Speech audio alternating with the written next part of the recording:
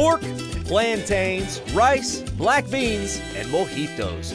These are the staples of Cuban cuisine and culture. And La Habana has been bringing all this and more to South Austin since 2001. Isabel Flores, the owner, grew up in East Havana. She moved to Texas as a teenager with her mother, and this land of opportunity soon reaped a harvest. I met my husband the first day I got here. This is fate. This is mm-hmm. divine intervention, Yep, right? yep. He's an engineer, and um, he said, "What do you think if we start a Cuban restaurant?" And I was like, um, Isabel wasn't a cook, but she and her husband Ron figured it out, bringing Austin all the flavors of Havana. Oh, na na. "My grandma was living in Austin at the time, so it was like, how do Okay, you oh. make this and how do you do it, and Right. let's tweak it." So it was it was really a compilation of my mom, my grandma, my aunt. You know, the Yeah. tamales was a, a big one. Yes, Cuban tamales are a thing. Cuban nachos, well, that's a Habana thing, just for Austin. This is not traditional Cuban, is it? No, it's not. This So- is our this is our twist on the nachos. You know, I mean, Okay. we're so in what- Texas. Of course. A bed of fried plantains, mojo sauce made from pork drippings, black beans, roasted pork, and of course, all the Texas nacho toppings.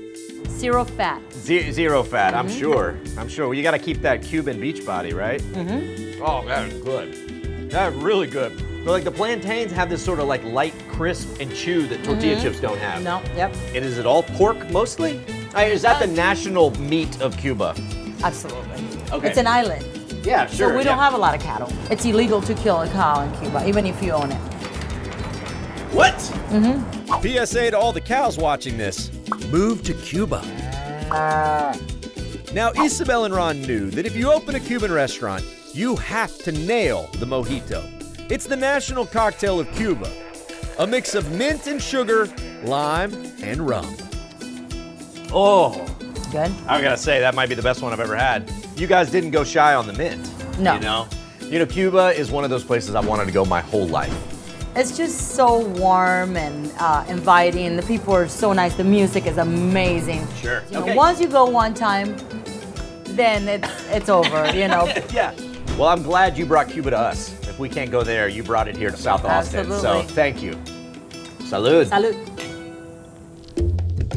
This is where the magic happens. Oh, you can smell the roasting spices. This is my mom. Ah, Laura. madre, hola. Come to find out, Cubans don't keep it spicy.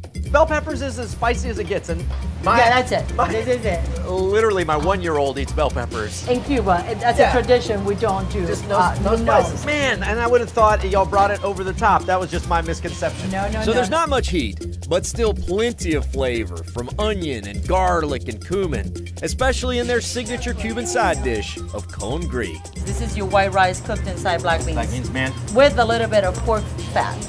Oh! Make it a taco and shovel it in my mouth. Ah. oh, that's great. Oh, there's some pieces of that pork. Oh, you find it? Oh, yeah. Woo! From the yucca root. Yeah. Yeah. Yes, yes, yes. To the pork. Slow roasted for eight hours in a bath of sour oranges. Marinated, and then you just give it time. I mean, this pork took time. Don't rush a Cuban and don't rush Cuban pork. Is there such a thing, Isabel, as Cuban time? Like Cubans on it? Island time. Island time. And when you're talking about the gateway into Cuban food, well, you gotta mention the Cuban sandwich. Something Mama here knows well. The Cuban bread is a special bread they making for us. Not just French bread, No, no, no.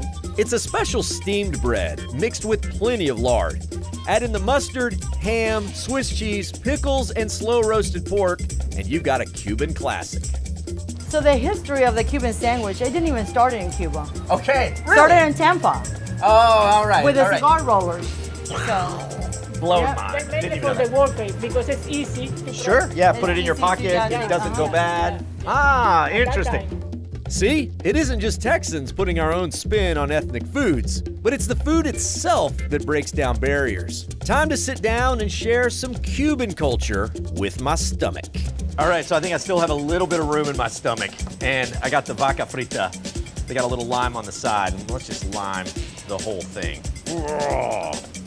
All right, here we go. Look at that. Oh, that's a good bite right there. tender shredded beef. I was like, I feel like I'm, I'm I got noodles here.